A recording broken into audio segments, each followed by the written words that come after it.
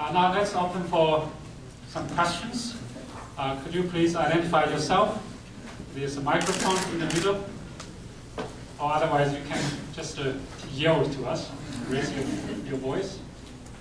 Yes, please. I'm going to try and yell. Paul Carson from the Syngenta Foundation. I've got a question about the Brazilian model. Uh, also, is, could, is that really making a difference to child nutrition? And the agricultural innovations, well, it may be making an, a change to child nutrition in China by exporting, but what evidence is there that it's really making a difference in Brazil? If you could put those two in some kind of relation and perspective in relation to the topic, that would be great. Thank you. Any, oh, here's one. Mark Westgate, Iowa State University, again for, for the Brazil presentation. You mentioned a Human Development Index. Could you describe that, please? Okay, let's have another one. Around Brazil? Beatrice? Maybe you can go ahead to, it. okay.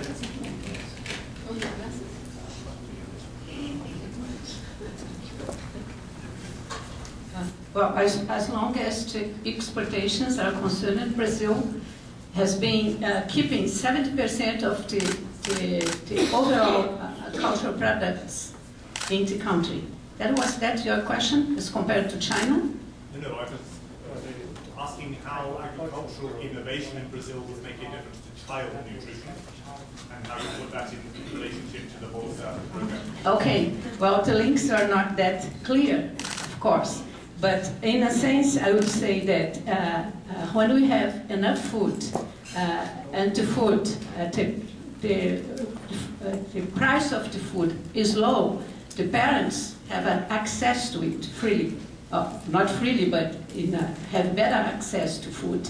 Uh, on the other hand, there were also many other uh, governmental actions related to child nutrition, including uh, um, mother mother education uh, as a, a, a, continuous assistance and monitoring, and especially, I would say that the population has been gaining more and more uh, uh, knowledge of the good, good nutrition and the way they should treat children. Uh, for instance, there are many and civil organization initiatives, including the pastoral, uh, uh, that was the Christian, well, churches which were together and uh, trying to teach mothers how to raise their children and how to put the food, the right combination of the food. And there is also a partnership between various ministries uh, which are uh, um, putting those things into discussion and making people more aware of the value,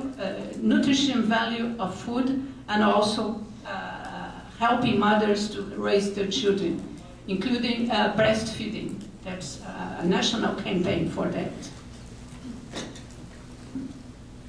The other one? Thank you. Uh, David Lambert, Iowa State. Could you comment on the uh, the Lancet study? Was it three years ago, and to what extent it's it has currency today, and whether its findings are consistent with your findings? Um, yes, uh, the, the Lancet series was published in 2008, in, in January and February 2008. Um, and um, it, it is very important in terms of making the point very clearly with reviewing the empirical evidence uh, about the focus on the under two. So we had been uh, different studies had been done over time that were showing the importance of, of, focusing on, on the young children. We started with saying, oh, it should be the children under three from a study in Guatemala, and then we lowered it to under two. And, and so the Lancet was an excellent review and, and providing all the scientific evidence we needed to move forward with that. Uh, there is still, there are still some, lots of delays in implementation. Uh, it's amazing how long it takes for the science to get into the practice. So we're saying that, we've been saying that for years, The Lancet series is for academics. People have seen it. There's been a lot of publicity around it, but still the academics are, are, are convinced, but the, the program uh, implementers are, are, are taking a lot longer. So we hope that with the Thousand Day Initiative of, of the um, government of the US with, with Ireland, as well as the Global Hunger Index, will will bring in the advocacy and, and reach the policymakers and people that are able to make the decisions about this focus. Carlos? As a reflection, just following up on, on this last point, it strikes me that sort of the whole area of the effectiveness of social marketing, of changing attitudes and behavior seems essential in India, in Brazil, in all these places.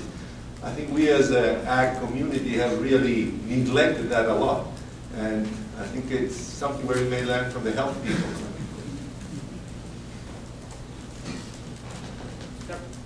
Why don't you come to, uh, to the microphone? Hi, I'm Maria Kasparian from Edesia uh, Global Nutrition Solutions, and um, we one of the things we work with is ready-to-use therapeutic and supplementary foods, um, and increasingly looking at kind of lipid-based supplements eh, for prevention as well, both for mothers during pregnancy and lactation, and then during for children six to 24 months. So, I'm wondering if you could speak to lipid-based supplements and things that, or other kinds of supplements as part of of a, a package. Yes, um, we work on these things too. Um, basically, we need to get uh, children to receive enough micronutrients. We've, we've realized that yes, there is a problem of young children not getting enough food, but the biggest problem is that they don't get the right types of food. Uh, for a young child that has very high requirements in essential micronutrients and a very small stomach, it takes a very concentrated kind of food for them to get everything they need. That's why in the U.S. and in developed countries we we have uh, cereals that are fortified. Everything is fortified. Everything you give to young young infants is fortified. Um, in developing countries, we don't have that luxury. Fortified products do exist in some places. They're not accessible for the poor.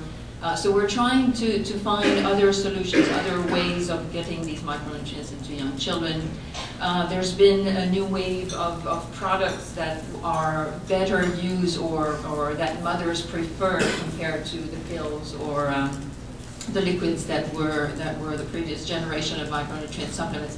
So now we have micronutrient powders, which you can sprinkle, uh, we call them sprinkles, you can sprinkle them on the food, and so they are part of the diet, and they are very effective at, at reducing micronutrient deficiencies. And what you're talking about are lipid-based supplements. So they're, they're also micronutrients that are in a, in, a, in a base that contains fat and which we assume is, is better absorbed. So there is definitely a role for these products. Uh, we don't want them to be the magic bullet. We don't want them to replace food. They have to go with food. They have to be part of the diet, and people need to be educated on how to use them and complement the diet of them. Okay, last question. Thanks. So I appreciate, uh, Robert Mazur from Iowa State University, I appreciate the emphasis on the first thousand days, but we know that the first five years are also very important. So as you get this message out, and maybe in the past it's been too hard for organizations to kind of come to grips with focusing on the first five years, but how do you get this message across while also giving due attention to the post-weaning period, which is often seen as very vulnerable as well? Thanks. I will just answer very quickly. It's important. Actually, uh, this, this is an issue, and what is most important for the two to five is not so much nutrition anymore, it's development. So we need to find a way to combine the nutrition during the first thousand days and the development during the two to five. We're working on. Well, thank you, thank you, the, the three prominent speakers for such exciting uh, presentations. But it's clear that we have made progress in cutting hunger. As you can see, the global hunger index has come down from 20% in 1990 to about 15% today. The Millennium Development Goal is to cut the hunger by half. So I don't think we are on track yet. And more importantly, there is such a large regional variation. South Asia has made, has, has made very little progress in that. And obviously, um, there are many success stories, China, Vietnam, and Brazil. And agriculture plays a very critical role there, particularly in the case of Brazil.